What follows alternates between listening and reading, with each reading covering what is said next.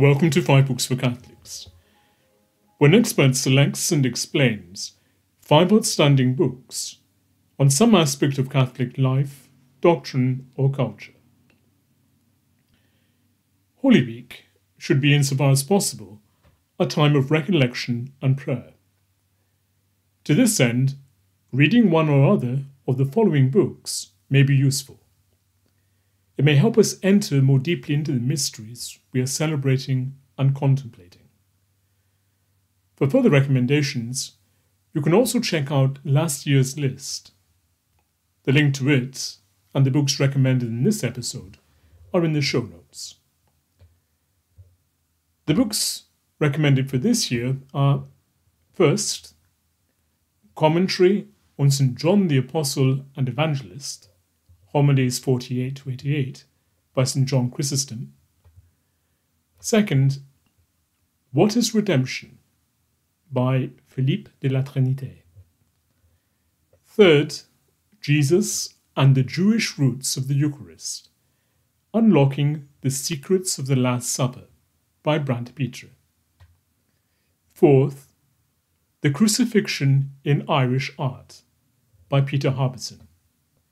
And fifth, a CD rather than a book, Thomas Tallis's The Complete English Anthems by the Tallis Scholars, directed by Peter Phillips. The first book on the list of recommended books for Lent was by a father of the Church. We should look to the fathers because they are distinguished witnesses to the apostolic tradition. Moreover, in their preaching, they often convey the original meaning of liturgical feasts and seasons. Consequently, their preaching on the Passion of Christ can be especially illuminating when it comes to the mystery of Holy Week. This year's patristic reading for Lent was St. John Chrysostom's homilies on repentance and almsgiving. This father and doctor of the Church can also guide us through Holy Week with his homilies on the Gospel of John. St. John Chrysostom delivered them as a presbyter in his native Antioch around 390 AD. Not only was he a native of Antioch, his preaching also reflects that ancient church's approach to biblical exegesis. According to some scholars, early Antiochian Christianity stressed the literal sense of Scripture, whereas the Alexandrians focused more on the spiritual sense. Certainly, St. John's preaching is often direct and to the point. Moreover, he takes every opportunity to underline the practical implications of the gospel for one's own life. Nevertheless, he too is attuned to the spiritual sense of Scripture and draws it out opportunely. In his homilies on John, Chrysostom explains the significance of the crucified Lord's pierced side and anticipates a later work of his that is recited during the office of readings on Good Friday, his Baptismal Catechesis number 3, Numbers 13 to 19. In the passage from his Homilies of John, where he comments on the same passage from the Gospel, he says the following An ineffable mystery was also accomplished. For there came out blood and water. It was not accidental by chance that these streams came forth, but because the Church has been established from both of these. Her members know this since they have come to birth by water and are nourished by flesh and blood. The mysteries have their source from there. So that when you approach the awesome chalice, you may come as if you were about to drink from his very side. End of the quotation. Homilies 66 to 72 cover the events from Palm Sunday up to Holy Thursday, including Christ's farewell discourse, whereas homilies 83 to 85 cover the Passion. The preaching of St. John Chrysostom is often characterized as more catechetical, practical, and less speculative than that of other Greek fathers of the period. Nevertheless, as some have noted, his homilies on John are more polemical than his sermons on the other books of the New Testament. In his homilies on John, he often inveighs against Arians and Anomoeans. These two heretical groups had arisen in the 4th century and had become widespread. They denied the consubstantiality of the Son and the Spirit with the Father. St. John Chrysostom takes advantage of every opportunity the Gospel provides to address their doctrinal errors and misreading of Scripture. This is a salutary reminder that the Trinity and its works are at the center of all Christian preaching and worship, particularly during Holy Week. During the Sacred Triduum, we celebrate Christ's passion, death, and resurrection. However, these are not just events in the life of Jesus, they are works of the Trinity. The creation of Christ's human nature is a joint action of the three divine persons. The Father has sent the Son into the world, and Mary conceives the incarnate Word by the Holy Spirit, whereas Jesus offers himself up to the Father for our salvation and to merit for us the gift of the Holy Spirit. Moreover, as we meditate upon these mysteries during Holy Week, we try to make sense of Scripture's various descriptions of Christ's passion, death, and descent into hell. Some of the Bible's statements may sound strange to us and leave us not sure what to think. What did Jesus mean as he hung upon the cross and cried, My God, my God, why hast thou forsaken me? Or, as Paul says in 2 Corinthians 5:21, how could the Father make the crucified Jesus to be sin?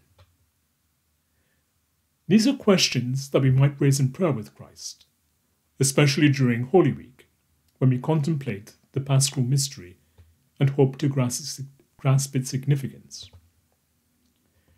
We can find authoritative and reliable answers to these questions in the Catechism of the Catholic Church. Nevertheless, we might still feel that we have not understood them sufficiently. The Carmelite Philippe de la Trinité's recently reissued What is Redemption is a clear, penetrating explanation of some of these questions. The book aims to correct a common misconception of Christ's passion. This doctrinal distortion of the redemption and radical error as Philippe de la Trinité calls them, is that Jesus suffered on the cross in order to satisfy retributive justice. This misconception has crept in since the Reformation. The opening chapter sets out the evidence of how it is filtered into the Catholic imagination. It arrays a series of texts, mainly from French post Reformation Catholic spiritual writers, that described Christ's death on the cross as a penal substitution meant to satisfy the Father's wrath. Some authors even claim that Jesus suffered the torments of hell. However, Father Philippe de la Trinité insists that, and here I quote him, the Father did not exercise punitive justice on the Son. He was not therefore angry with him, and the Son himself had no sense of his own damnation. End of the quotation. The rest of the book sets out the more authentic doctrine of our redemption. It examines the biblical teachings, mainly under the guidance of St. Thomas Aquinas. The central contention is that Christ, the incarnate Word, redeems us through his vicarious satisfaction and the merits of his charity. By elucidating how Christ has brought about our redemption, this book allows us to better understand the Paschal mystery. On Holy Thursday, Jesus institutes the Eucharist. He does so by eating the Passover Seder with his disciples and telling them to celebrate in a new way in remembrance of him. He transforms the Passover Seder by linking it to his death on the cross. The Eucharist is just as much a constituent of the Paschal mystery as Christ's passion, death, and resurrection. For this reason, one of last year's recommended books for Holy Week was Scott Hahn's The Fourth Cup, unveiling the mystery of the Last Supper and the cross. Another informative explanation of the biblical teaching on the Eucharist is Brant Pitre's Jesus and the Jewish Roots of the Eucharist, Unlocking the Secrets of the Last Supper. This book is an abridgment of his more scholarly volume on the subject, Jesus and the Last Supper. In the introduction, Pitre declares that my goal is to explain how a first century Jew like Jesus, Paul, or any of the apostles could go from believing that drinking any blood, much less blood, was an abomination before God, to believing that drinking the blood of Jesus was actually necessary for Christians. End of the quotation. To resolve this conundrum, not only does Pitre carefully elucidate the Old Testament events and institutions that Jesus brings to fulfillment in the Eucharist, such as the Exodus, the Passover, the manna, and the bread of the presence. He also looks to the extra biblical sources on Second Temple Judaism and considers how Jesus' Jewish contemporaries would have understood these Old Testament events and expected the Messiah to bring them to fulfillment. Pitre clarifies Christ's institution of the Eucharist by setting it within the milieu of Second Temple Judaism. Moreover, like Hahn, he argues that Jesus did not complete the Passover Seder on Holy Thursday, but on Good Friday, when, by accepting the wine offered to him in his dying moments, he drinks the last of the four ritually prescribed cups. So, Pitre says, by waiting to drink the fourth cup of the Passover, until the very moment of his death, Jesus united the Last Supper to his death on the cross. By refusing to drink of the fruit of the vine until he gave up his final breath, he joined the offering of himself under the form of bread and wine to the offering of himself on Calvary. In short, by means of the Last Supper, Jesus transformed the cross into a Passover. And by means of the cross, he transformed the Last Supper into a sacrifice. End of the quotation. Pitre's is another book that can furnish us with a better understanding of what is going on during the sacred Triduum. In the liturgy, we do not just listen to the Word of God, but also worship God through sacred images. For more on the place of sacred images in Christian worship, read the interviews on icons and on sacred art. Indeed, one of the high points of Holy Week is the adoration of the Holy Cross during the celebration of the Lord's Passion on Good Friday. Likely, that will not be the only moment when we pray before a cross during Holy Week whether at church or at home. Moreover, we may choose to pray before one cross rather than another, not just for convenience, but because it aids our prayer more. Maybe under other circumstances we have found another cross, very different in style, more helpful. The immense stylistic variety of crosses is a testimony to what St. Paul calls the unsearchable riches of Christ.